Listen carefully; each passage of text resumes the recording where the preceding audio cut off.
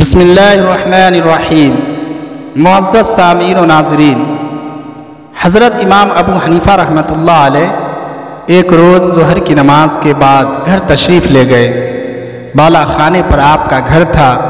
جا کر آرام کرنے کے لیے بستر پر لیٹ گئے۔ اتنے میں کسی نے دروازے پر نیچے دستک دی۔ آپ اندازہ کیجیے جو شخص ساری رات کا جاگا ہوا ہو اور سارا دن مصروف رہا ہو۔ اس وقت اس کی کیا کیفیت ہوگی؟ ایسے وقت میں کوئی آ جائے تو انسان کو کتنا ناگوار ہوتا ہے کہ یہ شخص بے وقت آ گیا۔ لیکن امام صاحب رحمۃ اللہ علیہ اٹھے، زینے سے نیچے اترے، دروازہ کھولا تو دیکھا کہ ایک صاحب کھڑے ہیں۔ امام صاحب رحمۃ اللہ علیہ نے اس سے پوچھا کہ کیسے آنا ہوا؟ اس نے کہا کہ ایک مسئلہ معلوم کرنا ہے۔ دیکھیے، اول تو امام صاحب رحمۃ اللہ علیہ جب مسائل بتانے کے لیے بیٹھے تھے، وہاں آ کر تو مسئلہ پوچھا نہیں۔ اب بے وقت پریشان کرنے کے لیے یہاں آ گئے۔ لیکن امام صاحب رحمۃ اللہ علیہ نے اس کو کچھ نہیں کہا، بلکہ فرمایا کہ اچھا بھائی، کیا مسئلہ معلوم کرنا ہے؟ اس نے کہا کہ، میں کیا بتاؤں؟ جب میں آ رہا تھا تو مجھے یاد تھا کہ کیا مسئلہ معلوم کرنا ہے، لیکن اب میں بھول گیا۔ یاد نہیں رہا کہ کیا مسئلہ پوچھنا تھا۔ امام صاحب رحمۃ اللہ علیہ نے فرمایا کہ اچھا جب یاد آ جائے تو پھر پوچھ لینا۔ آپ نے اس کو برا بھلا نہیں کہا، نہ اس کو ڈانٹا ڈپٹا، بلکہ خاموشی سے اوپر چلے گئے۔ ابھی جا کر بستر پر لیٹے ہی تھے کہ دوبارہ دروازے پر دستک ہوئی۔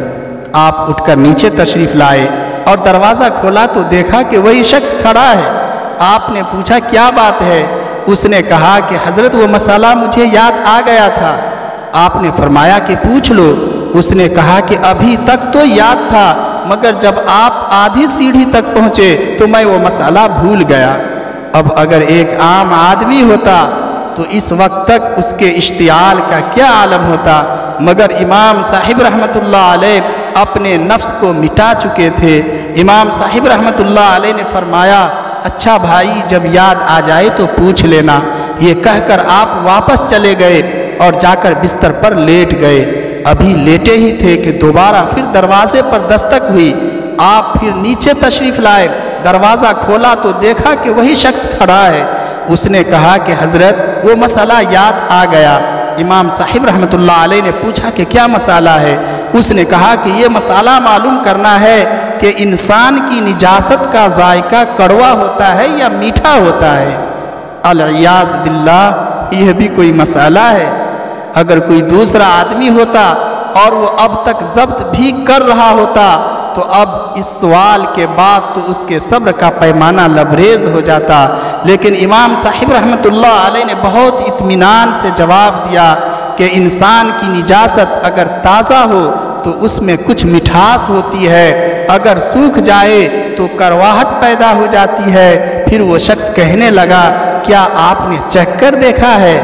الیاز باللہ۔ حضرت امام ابو حنیفہ رحمۃ اللہ علیہ نے فرمایا کہ ہر چیز کا علم چکھ کر حاصل نہیں کیا جاتا، بلکہ بعض چیزوں کا علم عقل سے حاصل کیا جاتا ہے۔ اور عقل سے یہ معلوم ہوتا ہے کہ تازہ نجاست پر مکھی بیٹھتی ہے، خشک پر نہیں بیٹھتی۔ اس سے پتہ چلا کہ دونوں میں فرق ہے، ورنہ مکھی دونوں پر بیٹھتی۔ جب امام صاحب رحمۃ اللہ علیہ نے یہ جواب دیا، تو اس شخص نے کہا کہ امام صاحب، میں آپ کے سامنے ہاتھ جوڑتا ہوں، مجھے معاف کیجیے گا، میں نے آپ کو بہت ستایا، لیکن آج آپ نے مجھے ہرا دیا۔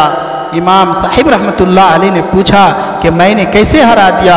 اس شخص نے کہا کہ ایک دوست سے میری بحث ہو رہی تھی۔ میرا کہنا یہ تھا کہ حضرت سفیان سوری رحمۃ اللہ علیہ علماء کے اندر سب سے زیادہ بردبار ہیں اور غصہ نہ کرنے والے بزرگ ہیں اور میرے دوست کا کہنا تھا کہ سب سے زیادہ بردبار اور غصہ نہ کرنے والے بزرگ امام ابو حنیفہ رحمۃ اللہ علیہ ہیں اور ہم دونوں کے درمیان بحث ہو گئی اور اب ہم نے جانچنے کے لیے طریقہ سوچا تھا کہ میں اس وقت آپ کے گھر میں آؤں جو آپ کے آرام کا وقت ہوتا ہے اور اس طرح آپ کو دو تین مرتبہ اوپر نیچے دوڑاؤں اور پھر آپ سے ایسا بیہودہ سوال کروں اور یہ دیکھوں کہ آپ غصہ ہوتے ہیں یا کہ نہیں۔ میں نے کہا کہ اگر غصہ ہو گئے تو میں جیت جاؤں گا اور اگر غصہ نہ ہوئے تو تم جیت گئے۔ لیکن آج آپ نے مجھے ہرا دیا اور واقعہ یہ ہے کہ میں نے اس روئے زمین پر ایسا حلیم انسان جس کو غصہ چھو کر بھی نہ گزرا ہو، آپ کے علاوہ کوئی دوسرا نہیں دیکھا۔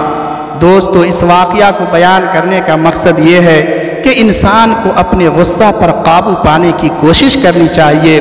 اس لیے کہ یہ غصہ بے شمار برائیوں کی جڑ ہے اور اس کے ذریعہ بے شمار باطنی امراض پیدا ہوتے ہیں۔ ابتدا میں تو یہ کوشش کرے کہ غصہ کا اظہار بالکل نہ ہو، بعد میں جب یہ غصہ قابو میں آ جائے تو اس وقت یہ دیکھے کہ کہاں غصہ کا موقع ہے، کہاں غصہ کا موقع نہیں، جہاں غصہ کا جائز محل ہو، بس وہاں جائز حد تک غصہ کرے، اس سے زیادہ نہ کرے۔ اللہ تعالیٰ اپنی رحمت اور اپنے فضل و کرم سے ہم سب کو ان باتوں پر عمل کرنے کی توفیق عطا فرمائے۔ آمین۔ یا رب العالمین۔